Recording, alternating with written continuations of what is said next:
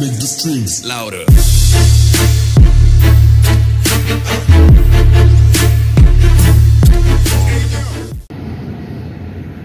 Hey, it's Joe Food Reviews and more. And Today we guys review um it is up. It's a new flavor. Uh, they released it in their Valentine's Day and I'm reviewing it after.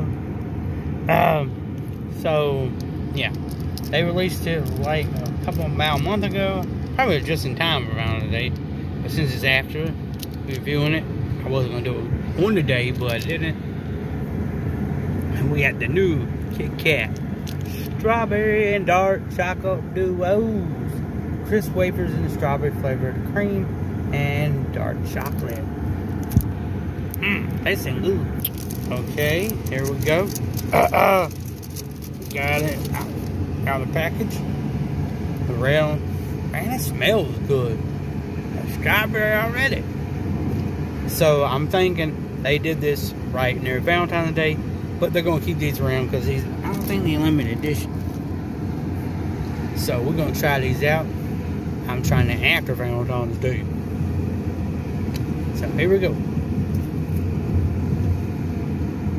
Mmm. Oh.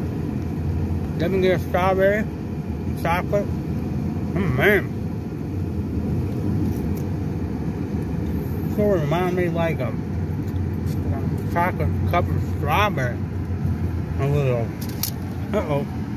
Mm hmm. Right there. That reminds me. Good. Strawberry tastes good. Mmm. Chocolate. Texture's good. Giving this a 9 out of 10. Oh yeah. Like, comment, subscribe. Hit that notification bell. I mean 9.8 out of 10. Oh yeah on a point 8 out of 10.